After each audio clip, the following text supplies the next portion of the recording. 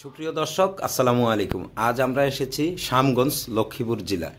তো দর্শক চলুন আমরা একজন দুঃখী নারীর কথা শুনি যে যে নারী দীর্ঘদিন স্বামীর সংসার করেও এখন কেন করতে পারলেন না সেই কথাটা আমরা এই বোনটার কাছ থেকে জানতে চাব। আপু সালামু আলাইকুম। ওয়ালাইকুম সালাম আপু ভালো আছেন? হ্যাঁ আপনার নাম? মর্জিনা আক্তার আকলিমা। মর্জিনা আক্তার আকলেমা। তো আপু আপনার এ, স্বামী আছে? জি না। কেন নাই? আজ তিন বছর ধরে খোঁজ খবর নাই না মেয়েরও খোঁজ খবর নাই না। আচ্ছা। এই পাশে কি আপনার বাবুটা? হ্যাঁ বাবু তোমার নাম কি? আসবিয়া আসপিয়া লেখাপড়া করো? কোন ক্লাসে পড়ো? টুতে। টুতে? না। তুমি লেখাপড়া ভালোবাসো? তার পাশাপাশি কি ভালোবাসো তুমি? মা। মাকে ভালোবাসো? খেলাধুলা করো না? কেন? এই ভাই বেটা পড়ালেখার টেনশন খেলাধুলা করে না। আচ্ছা। তো আপু বলেন আপনার বিষয়গুলো আপনার যে দুঃখের বিষয়গুলো সেগুলো আমরা শুনতে এসেছি আজকে বলেন। হ্যাঁ স্যার আমার আমার আমার বাবা তিন বছরে তিন বছর অসুস্থ। চেষ্টা করছে, আর আমি টাকা পয়সা কই দিব সে তো চাই দুই লাখ টাকা টাকা, দুই লাখ টাকার জিনিস তো। এই টাকা যৌতুক টাকা না যদি না দিই, তাহলে আমারে রাখবে না। আমার আমারে হার করে দিব, মেয়ে লই চলে যাব। এরকম করে আমার অনেক জায়গাটা করছে। আমাকে নৌকাবানি করছে, আমার মারছো। পরে আমার বলতেছে দুই লাখ টাকা যদি না দাস, তাহলে আমি তোর রাখব না। এ কই আমার ঢাকা চলে যায়, আমার খোঁজ খবর নেয় না আজ যে তিন বছর ধরে আমি পড়ে রয়েছি বাপের দ্বারে। আচ্ছা আপনার বিয়ে হয়েছে কত বছর আগে বিয়ে হয়েছে দেন আজ নয় বছর তো যখন প্রথম বিয়ে হয় আপনাদের তখন কি আপনাদের প্রেম করে বিয়ে করছেন না আপনার বাবা মা দেখে শুনে বিয়ে দিয়েছে? আপনার বাবা মা দেখে শুনে বিয়ে দিয়েছে। আচ্ছা তো যখন আপনার বাবা মা দেখে শুনে বিয়ে দেয় তখন কি যৌতুকের কোনো কথা ছিল? না। ছিল না? না। ছিল একটা বিদেশের দিকে যদি আসা থাকে বিদেশ যদি যায় তাহলে আমার মা বাপে দিত পঞ্চাশ হাজার টাকা। এটা কি তখন বলে দিয়েছে যে তুমি যদি দেশের বাইরে টাইরে যাও তাহলে তোমাকে পঞ্চাশ হাজার টাকা দিব? হ্যাঁ ঠিক আছে হে বলছে। আমার মা বাবা বলছে ঠিক আছে তুমি যদি বাইরে যাও তাহলে আমরা পঞ্চাশ হাজার টাকা দিব। হে রূপা দিতে পারতাম না টাকা পয়সা ওর বাবার অসুস্থ টাকা পয়সা অনেক গেছে আমার। আমার বাবা এটা স্টক করে তিনবার করছে। অসুস্থ। ভালো না রে। আচ্ছা আপনার বাবা তিন তিনবার স্টক করেছে। হ্যাঁ। আচ্ছা তো এই যে আপনার স্বামী যখন তখন কি বাইরে গিয়েছিল? হ্যাঁ পরে বিদেশ গেছে কত বছর ছিলেন বাইরে?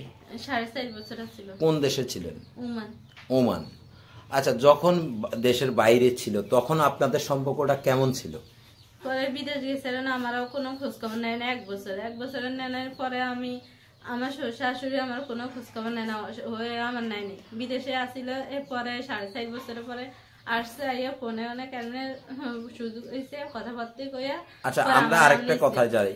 যখন আপনার এক বছর খোঁজ খবর নেয়নি যাওয়ার পরে তো এরপরে আপনার সাথে কীভাবে তার সাথে যোগাযোগ হলো কথাবার্তা হলো? আমার গো ফোন নাম্বার জানে মুখস্থ জানে। আচ্ছা মানে এক বছর পরে সেই ফোন দিয়েছে আপনাকে? হ্যাঁ।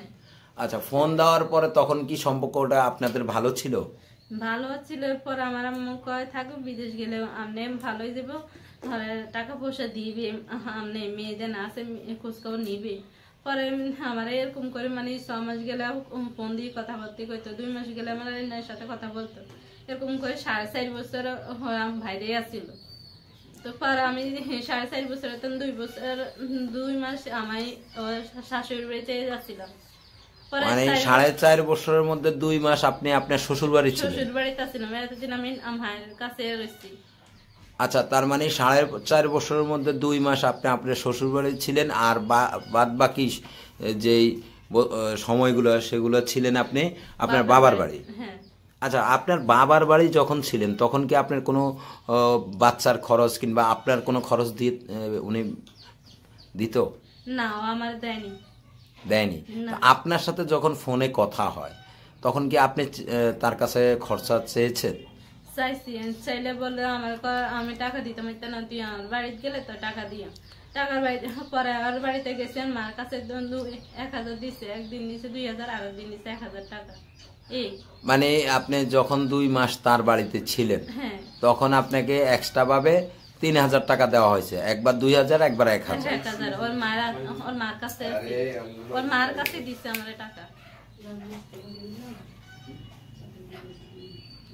আচ্ছা। মানে ওর মা আপনার শাশুড়ির কাছে হ্যাঁ দিয়েছে আমার শাশুড়ি তো দিছে টাকা ওর শাশুড়ি আমারে দিছে। আচ্ছা মানে আপনার শাশুড়ির কাছে যখন টাকাটা পাঠাইছে তখন আপনাকে দিয়েছে। তো আপনার শাশুড়ির সাথে আপনার সাথে কেমন রিলেশন ছিল? মানে ছেলে বিদেশে ছিল আমার লগে হেমভাবে সুন্দর করে চলছে খাইছে লইছে।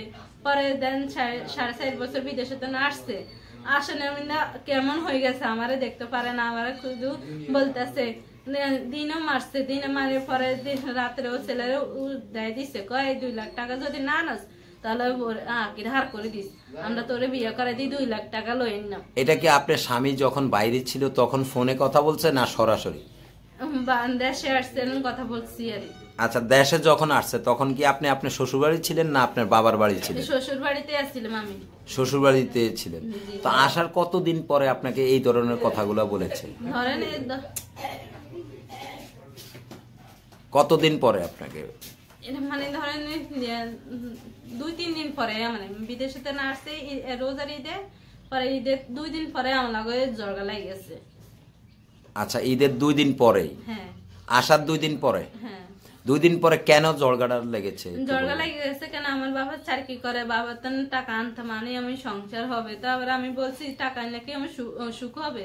কোনোদিন আমার টাকা দিলে আমার সুখ হবে না। আমার মা বাবা এত কিছু দিছে আমারে তো আমি সুখ পাইনি। পরে আপনারা কি বলেন এগুলা? পরে আমার শাশুড়ি কইতেছে এই দুই লাখ টাকা যদি না আনস তাহলে আমি ছেলের বিয়ে করাই। তোর দুই লাখ টাকা দিয়ে বিদায় দিয়ে।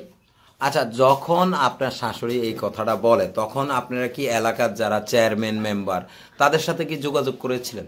হ্যাঁ আমি এলাকার চেয়ারম্যান মেম্বার সবারে জানাইছি। মেম্বার আমার হাতটা দেয়নি। আচ্ছা মেম্বার আপনাকে পাত্তা দেয়নি। আচ্ছা তো আপনারা আইনগত কোনো ব্যবস্থা নেননি কেন? আইনের পর আমি বাড়িতে আমি চলে আসছি। পরে আসানোর পরে আমার ওই আমার বাচ্চা এক ছেলে এক বছর মারা গেছে। সে আমার গর্বে এক মাসে, দুই মাসে গর্ভ দিয়ে ওই দিন চলে গেছে ঢাকা। আমি আর খোঁজ খবর নেয়নি। এ বাচ্চা হয়েছে বাচ্চা মারাও গেছে, তাও আসেনি। আমার এই শাশুড়ি, আমার শাশুড়ি আমার সামনে ছেলের সাথে কথা বলে ওইদিকে চলে গেছে। বাগান দিন চলে গেছে মেয়ে বলতেছে, মা আমা এই দেখো, আমার বাবা ফোন দিছে, আমার দাদু চলে গেছে বাগান দি আমার, আমি কণ্ঠ শুনছি আমি কই, না, মিথ্যা কথা বলিস। না, মা, আমি মিথ্যা কথা বলি না। সত্যি বলছি, আমার মা ফোন বাবা ফোন দিছে। পর আমার ননদ একটা ছোট, সে আমার কইতাছে, আমরাও ঢাকা হাসপাতালে গেছে আমার ভাই আইছে, ভাই আঙ্গুর লগে দেখা কইছে, টাকা পয়সা দিছে। পর আমার শাশুড়ি আমার, ওরা ননদের মারছে, মারার পর আমার কইতেছে, ওই পাগল লগে এক পাগলের কথা বলে।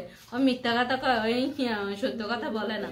এগুলো কথা পরে আমার শাশুড়ি মিথ্যা কথা কইছে।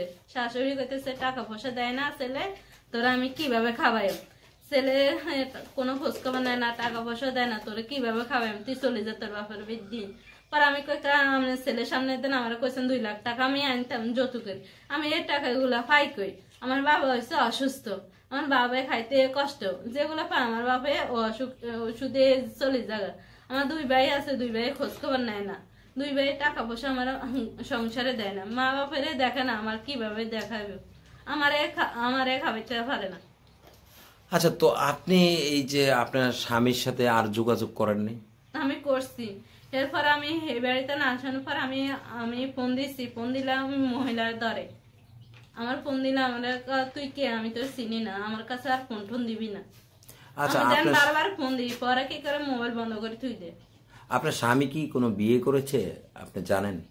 এনে সবাই মুখে শুনি বিয়ে করছে। বিয়ে করেছে। আচ্ছা। শাশুড়ি বলছে ও বিয়ে করছে। আচ্ছা তো এই যে এই বাবুটাকে নিয়ে আপনি কীভাবে চলেন এখন? হ্যাঁ মায়ের কাছে থাকি কষ্ট চলি রে বড় বোন একটা আছে বড় বোন ঢাকা থাকে। হ্যাঁ আমার লাইন স্বামী নেই। মানে আপনার বড় বোনেরও স্বামী নেই? আপনি কি এখন কোনো কাজ জানেন যে হাতের কোনো কাজ জানেন যে আপনি আপনার এই মেয়েটাকে মানুষ করতে পারবেন হাতের কাজ করে? কি কাজ জানেন আপনি হাতে? সেলাইয়ের কাজ জানেন? আচ্ছা তো এই যে আপনি যখন মনে করেন আপনার হাজবেন্ড খোঁজ খবর নেয় না এখনও তো আপনার ডিভোর্স হয় নাই? তো এখনও কি আপনি চেষ্টা চালাচ্ছেন যে আপনার হাজবেন্ডকে কাছে পাওয়ার জন্য? চেষ্টা করছে ওখান তা পাই না। আচ্ছা তো এখন আপনার সিদ্ধান্তটা কি? যে আপনার এই হাজবেন্ডকে কি আপনি দুই দুই লক্ষ টাকা দিলে আপনার সুখ হবে? না। এখন আপনি কি চাচ্ছেন মূলত? মূলত আমি তো চাচ্ছি কি ওই দুই লাখ টাকা দিলে আমি সুখ পাবো না। আচ্ছা। দুই লাখ টাকা দিলে আবার যদি বলে আর লাখ টাকা তো পরে আমি কি করব? দুই লাখ টাকা দিয়ে আমি সুখ পাইতাম না। আগাও টাকা দিছি এরকম করে দুই লাখ টাকা এক লাখ করে দুই লাখ টাকা দিছি তো আর সুখ পাইনি। পরে আবারও দুই লাখ টাকা চাই তো আমি কোথুন জিমু আমি তো দুই লাখ টাকা একবার দিছি। ওই বিদেশ যাইবো কে আমার তো এক লাখ করে করে কত দুই লাখ টাকা নিচ্ছে এবং আমার দেয়নি টাকা টাকাগুলো আমার মেয়ে জিনিসপত্র দেয়নি আপনার যে স্বামী আছে তাকে আপনি যেহেতু দুই লক্ষ টাকা দিলেও আপনার সুখ ফিরে আসবে না যেটা আপনি আমাদেরকে বললেন। তো এখন এই বাচ্চাটাকে আপনি কি ধরনের লেখাপড়া করতে কোনো ধরনের কোনো সমস্যা হয়? হ্যাঁ সমস্যা তো। কি ধরনের সমস্যা হয়? এই মেয়েরা আমি পড়াইতে পারি না কত কষ্ট করতে হয়। আমার মেয়েরা কাগজ লাগে কলম লাগে কত কিছু লাগে। আমি ওগুলা কই দিতে পারি? আমি তো স্বামী নেই আমার কোনো খোঁজ খবর নেয় না। আচ্ছা আপনার তো দুইটা ভাই আছে যেটা আমরা জানি। আপনার ভাই কি আপনার কোনো খোঁজ খবর নেয়? না। নেয় না।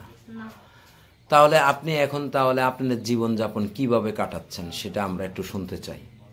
আমার দিন- দিন কাটাইতে আছে আমি কি করব তো আপু আপনি যে শিলের কাজ জানেন যেটা আমরা শুনেছি এই শিলের কাজ কি আপনি করেন? করেন? আচ্ছা এই শিলের কাজের উপরে কি আপনার সংসারটা বর্তমানে চলে? না। চলে না। তা আপনি শিলের কাজ করেন কত টাকা পান? কিন্তু কাজে মানে দেড়শো টাকাও পাই কোন সময় কোন সময় একশো টাকাও পাই এগুলা দিয়ে আমার সংসার হয় না। এটা দিয়ে আপনার সংসার চলে? না আমার মেয়েরও জামা কাপড়ে হয় না। মেয়েরা কোনো কিছু হয় না। আচ্ছা তো আপনি কি আমাদের দর্শকের উদ্দেশ্যে কোনো কিছু বলবেন? হ্যাঁ চাই আমি সাহায্য চাই আচ্ছা কি ধরনের সাহায্য সহযোগিতা চান আপনি? আপনাকে যদি কেউ একটা শিলের মেশিন কিনে দেয় তাহলে কি আপনি সংসার ভালোভাবে চলবে? হ্যাঁ চলবে। চলবে। আচ্ছা এই কতটুকুই তো আপনি সাহায্য সহযোগিতা চাচ্ছেন? আচ্ছা তো ঠিক আছে আপু আপনি ভালো থাকবেন সুস্থ থাকবেন। দর্শক আপনারা যারা আমাদের এই ভিডিওটা দেখেছেন এই অসহায় নারীর পাশে সবাই দাঁড়াবেন আমরাও দাঁড়াবো। তো দর্শক আপনারা সবাই সুস্থ থাকবেন ভালো থাকবেন। আসসালামু আলাইকুম।